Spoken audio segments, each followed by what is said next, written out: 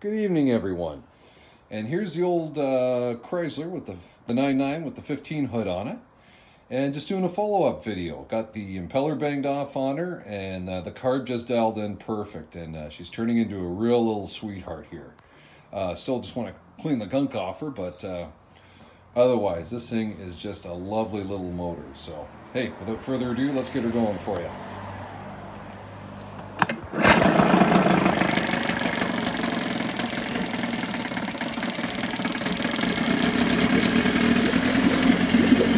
Cool still, so I want to warm up a touch, but go around the back.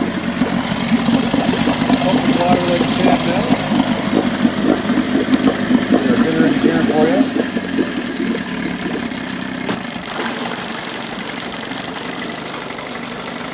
Just chugging away. Back to neutral. Get in reverse.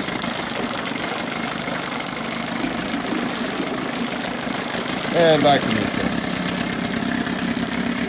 And oh, even got the stop button working. Yeah, really happy with how this old girl turned out. Uh, I'll do it for this one. Take care.